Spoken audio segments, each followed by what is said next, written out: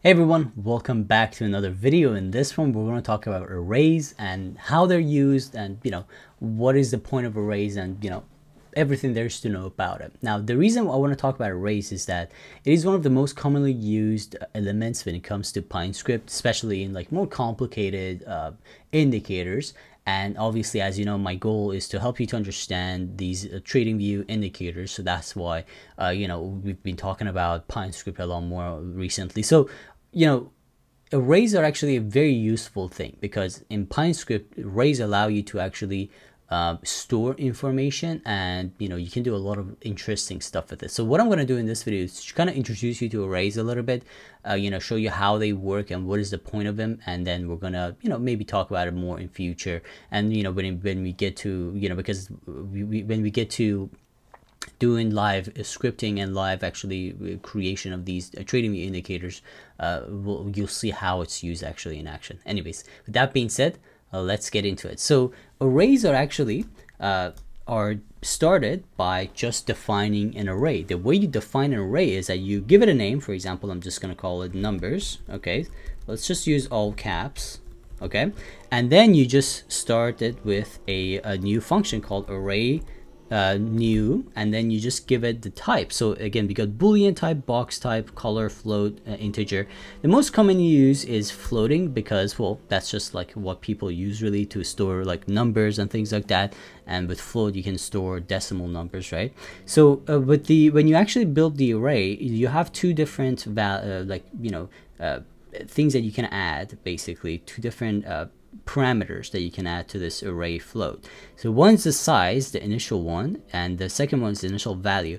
So the size is essentially how big is that array. So if you leave it at nothing, that is going to be like basically unlimited array in a sense it's going to be i think it, there's a maximum amount in pinescript that is 100000 and then the initial value is going to be the value that you wanted to give give it. Now, again, we're going to leave all of this empty because I want to explain exactly like how does an array work. If you're familiar with Python a little bit, uh, the way uh, like, you know, Python, like the way you define a list in Python is using a variable and just a bunch of numbers or stuff in a bracket, right? So for example, like, you know, for example, the way, again, this is Python, not PineScript, but I just want to show you what do I mean by this. So if you want to have a list of numbers, uh, you know, this is how it works in Python, you know, like just like that, like, you know, you just have a bunch of numbers in uh, these, you know, in this bracket, all right? So, and there's no way for you to do this in PineScript, and that's why we use arrays, all right?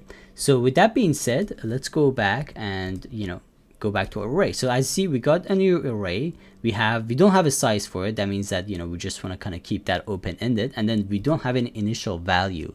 You know, this is something that you can add in case if you want to like immediately define uh, like a number or value inside an array that you just started, you know, that you just built. But you know, most of the times people leave it empty. Uh, so with that being said, let's go ahead and actually get like a little bit open on this. So the next thing you want to do with an array is that you know uh, you want to maybe replace a number. So actually, actually let's let's first add a number to an, this array. So the way you add a number to an array, let's actually comment it out so that you actually you understand this. So define an array. There you go. So the way you actually add a value to an array is use the push okay add a value so the way you do this is you use array dot push and then you just add the you give it the array id in this case it's numbers right so this is the array that we defined and then you give it the value you know whatever you want to add for example in this case i want to add the number 10.24 um, to this array so just like that we added this number to this array right? So just like that, we added that. Okay. And another thing you can do is you can actually access this array. So the way you uh, the way arrays work is that they they are basically a list. Let's actually add a bunch of stuff to this array. Okay, so let's just add like maybe four different numbers. For example, I'm gonna call this 24, 62, um, 28. All right, so we just added four numbers to this array, right? So the way you access, because when you actually have these numbers, the way they're stored is like this. so they're stored basically at you know, by in order, basically. The, first one is 10, you know, the second one is basically 24.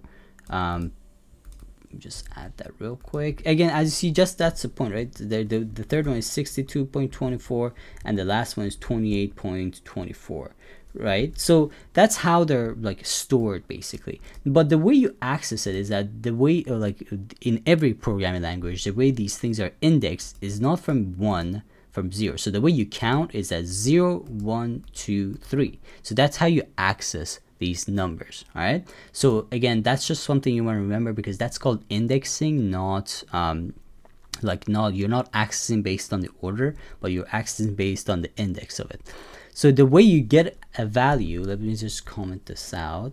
Okay, so the way you get a value inside an array is that you use array.get. Let me just make sure it's not, uh, there you go array.get and then you go you choose the array id as you see we got the syntax here. So we got the id so i'm just going to go for the numbers. That's the array id that we defined right? And then the index. So again that is going to be for example the first number second number third number fourth number whatever you want to access. So in this case i'm going to go with one. So this means that it's going to access the second number. And again you can put this in a variable. For example you can just put this on um, value.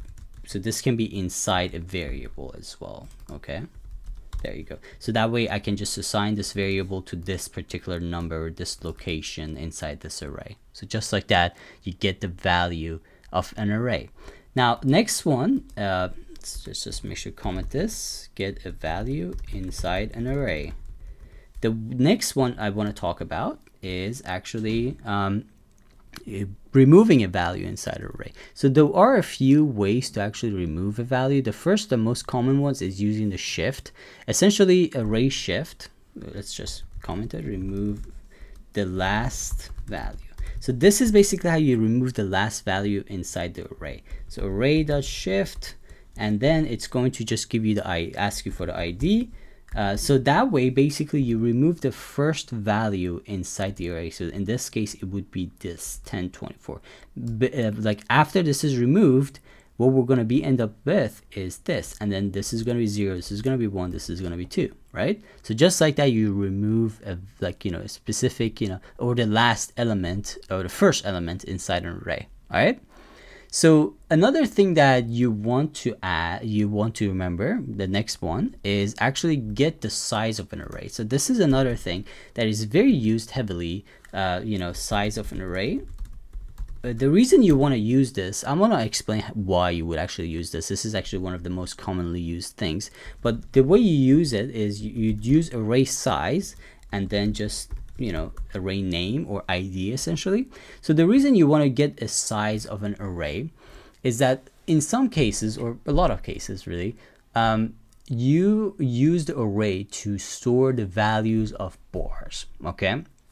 And when the chart changes for example you you're looking at apple now you're looking at uh, like in the, Nvidia for example these charts change and when these charts change the like number of bars in that array that you have in your code changes as well. So you don't know exactly how many like how many like bars are inside that array right?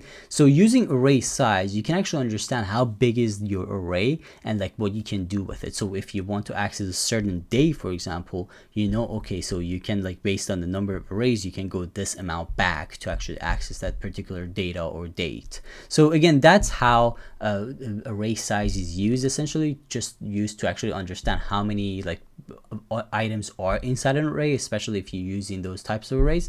And you know uh, you know you can use it for that. So that is that you know that is how you use array size. Um, let's see one more thing that we want. We talked about the push didn't we? No we didn't we, let's talk about yeah we talked we talked about the push we talked about shift we talked about size which is going to give you the size of the array. Um, let's we talked about get as well which is going to get the uh, you know a value certain value inside an array, array. so um, let's see what else? Actually let's talk about the size set. So array set let's actually do this. Array set basically sets a sets the closed number uh, sets a number in like a specific index. So, you know, array set. So basically, let's say we have this array. say we got this, right? And we want to change the, a particular number in this set. For example, I want to change this one, the third number, which becomes 0, 1, 2. How do we actually do this? You use the set function. So we do this by um, going and saying array set, okay? And we're going to say uh, again, if you take a look at the syntax, it's going to ask you for the ID and then index and then value. So uh, for ID is going to be, for example, uh, ID is numbers. So that's the array that we're using right now, right? Um, index is going to be two, right? Again, because we're using zero, we're saying zero, one, two, right? So that's going to be two. And then the value, basically the number that we want to change it. For example, I'm just going to change this to 99.54. So just like that, we change this value using the set array set function. All right. So just like that, guys, we, uh, you know, we uh, talked about arrays. Now, again, arrays can be a little bit more complicated. For example, one more thing that can happen in array, uh, one of the things you want to remember is that arrays constantly change because, again, the way Pine script runs is that it runs on each bar, right? So these arrays are constantly defined each time a new bar is introduced to, introduced to the chart. So if you want that array to not change, specifically, you know, if you're using more complicated things, for example, uh, in my case, what I'm doing is I'm using arrays for uh, arrays and matrices for like a AI or neural network uh, you know system. So we, you don't want that to change. You want it to be constant. So the way you use it is you use VAR uh, keyword.